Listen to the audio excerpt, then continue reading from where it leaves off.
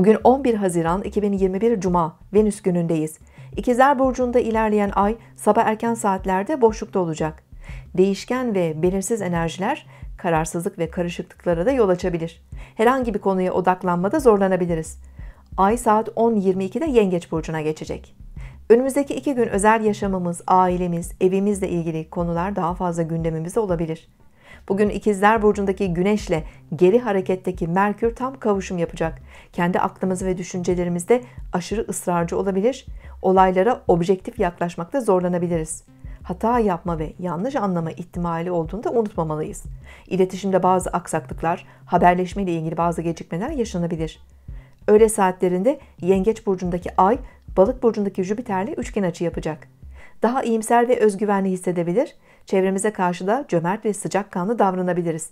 İyimser enerjilerle yakın ilişkiler kurmak için de bazı şanslarımız olabilir. Bugün Mars Yengeç burcundan ayrılarak Aslan burcuna geçecek. 29 Temmuz'a kadar Aslan burcunda kalacak olan Mars, enerji ve motivasyonumuzu arttırabilir. Sanat, eğlence, aşk, yaratıcılık ve yeni deneyimler konusunda daha istekli olabiliriz. Ateş grubu Koç, Aslan ve Yay burçları da bu dönemde daha girişken, cesur ve atılgan olabilirler. Siz de şimdi kanalımıza abone olun, yorumlar bölümüne sorularınızı yazın, sürprizlerimizden haberdar olun.